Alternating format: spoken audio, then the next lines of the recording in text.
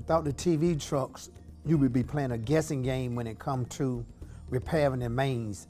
And what the TV truck also do is help us to speed up the maintenance process. The more that we can repair, the better that we can serve our citizen.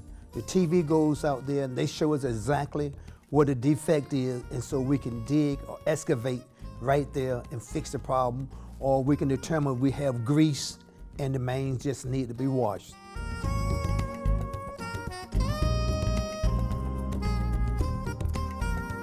Let's say there's a manhole 500 feet apart. Well, if he only finds one thing within that 500 feet, we may repair it. If he sees three or four issues where, in a way, it's probably cheaper or better to replace that whole section of pipe, we would send that to engineering. But they still want to see what's, what did we find to know where the problems are. So it kind of depends on what he finds, how deep it is, and how many of them. He's the first person looking at it, so he'll say, well, hey man, I think this, this is a problem here. So he'll make that note and he'll also tell his supervisor, hey man, here's what I saw, here's what we probably ought to look at. And then the supervisor will, will review what he said. After all his observations, it'll total those up and give it a code as to how bad a shape that pipe is in.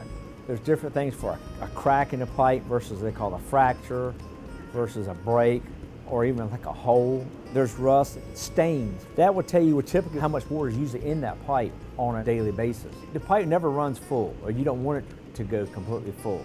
It all flows downhill from the house all the way to the pump station. When it leaves the station, it goes in a force main and is pumped in a pressurized pipe to the treatment plant.